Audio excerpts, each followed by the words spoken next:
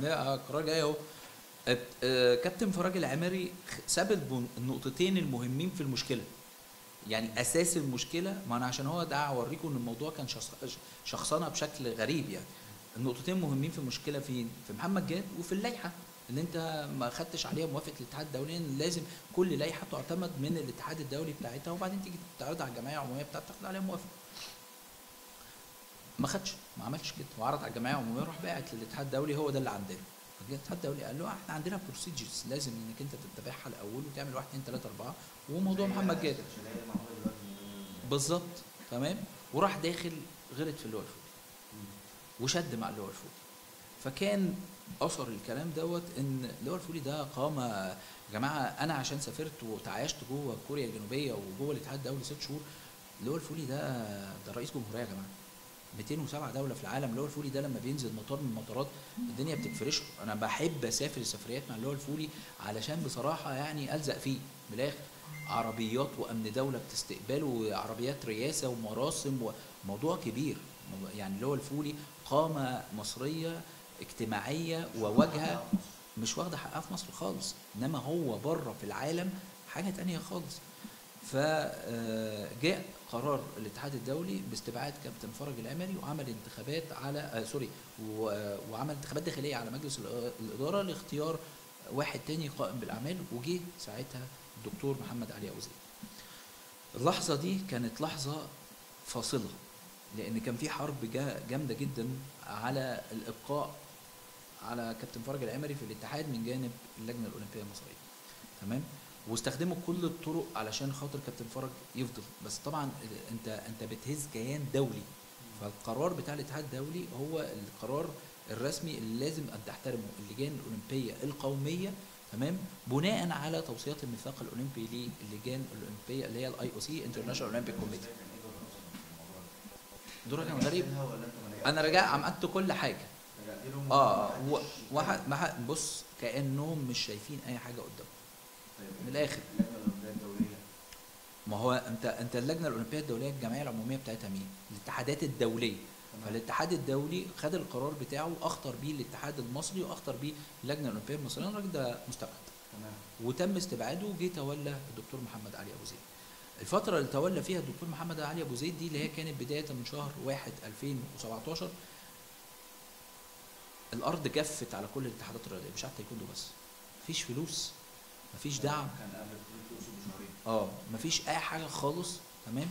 وكالعاده الدكتور محمد علي أبو زيد صرف من جيبه لأن هو الراجل صارف لحد دلوقتي من بداية 2012 لحد 2017 3 و6 من عشرة أو 3 مليون و600 ألف جنيه من جيبه الخاص لدعم الاتحاد المصري للتايكوندو والمنتخبات القومية. محمد علي أبو زيد شهادة حق لربنا لا خد تذكرة طيران ولا استخدم حرية إن هو عضو مجلس إدارة في تخصصات ولا خد بوكيت ماني ولا قعد في فندق من الفنادق على حساب الاتحاد ولا أي حاجة خالص. محمد علي أبو زيد بقاله خمس سنين بيدفع فلوس. بس بيدفع فلوس ليه؟ لأن الراجل بيحب اللعبة وعايز يحط بصمة حقيقية تفضل محطوطة له في التاريخ. وحط حط في هداية وخدوا هداية منه وعملوا فرح ونسبوه لنفسهم بس ربنا أراد إنه يجيله فرحة كبيرة أنت شفتها.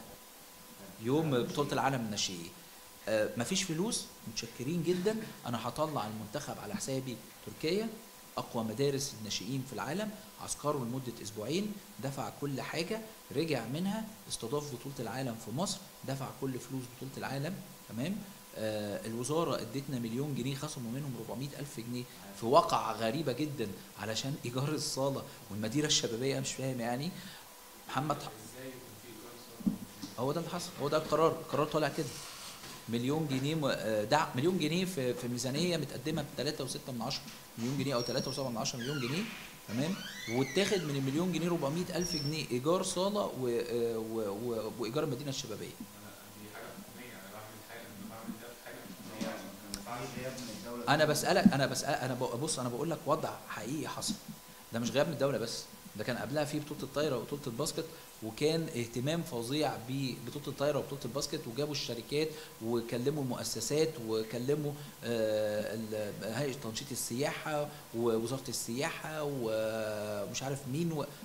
إحنا مفيش لا تعقيبا بس على موضوع الاستاذ الرفاع هو اللي كان مسؤول عننا ايامي وقتها كان واحد اسمه طارق شرف هو شاطر في حتة الميديا دي وحته التسويق والكلام ده هو اللي بيعمل بس لا. كان في توجيه لبيع التذاكر لا لا لا سيب أنا مش هتكلم عن النقطة دي أنا بتكلم إن كان اتعمل ونرجع تاني بالتاريخ والورق موجود والمواقع موجودة اتعمل أكتر من خمس اجتماعات مع السيد وزير الشباب والرياضة مع اللجنة المنظمة لبطولة الطايرة واللجنة المنظمة لبطولة السلة قبل ما البطولة تتعمل. أكتر من خمس ست مرات والأستاذ محمد كساب كان ينزل على طول ويشير. النهارده اجتماع النهارده اجتماع. اتحاد تايكوندو ما حدش رفع سماعة التليفون عليه وإحنا كنا بنجري. يا جماعة تعالوا اقعدوا. ما أنت شفت بعينك. ما فيش غير اللي هو خالد فودة ربنا يكرمه يا رب وكان مسافر الحج أجل سفره يوم عشان يحضر الافتتاح مخصوص. قال له قال له لما راح له اللي هو الفولي وراح له الدكتور محمد علي أبو زيد قال له أنا واقف جنبكم لأن ده وش مصر؟ هو قال كده قال دي مصر يا جماعة. ملهاش علاقة بقى لا حسابات ولا انتخابات ولا أي حاجة. لا ده لا ولا مندوبين عنه. مفيش آه آه. آه أول وفد روسي لمصر من من سنتين يجي لك. وإيه؟ ده نزل تل أبيب. ده ده الوفد الروسي جاي بري.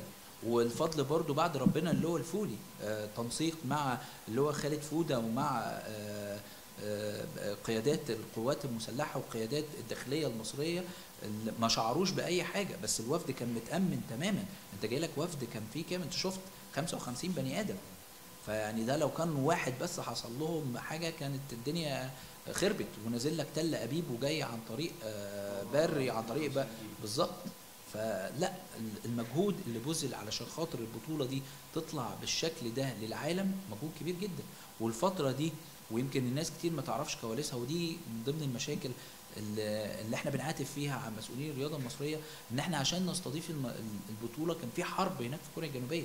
أنا حضرت ال presentation أنت أنت مع بداية ال presentation أمريكا أستراليا إنجلترا فرنسا ألمانيا قالت لك مش جايين.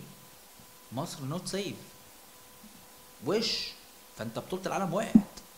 انت بطولة العالم وقعت.